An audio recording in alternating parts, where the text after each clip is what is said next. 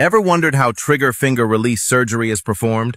Trigger finger is a condition where a finger gets stuck in a bent position and then suddenly pops straight, often with pain.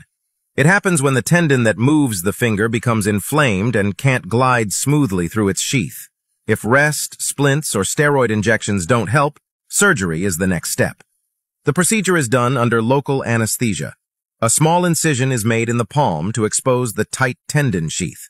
The surgeon then carefully cuts the part of the sheath that's restricting movement. This release allows the tendon to move freely again without catching or locking. The surgery takes about 15 to 20 minutes, and stitches are usually minimal.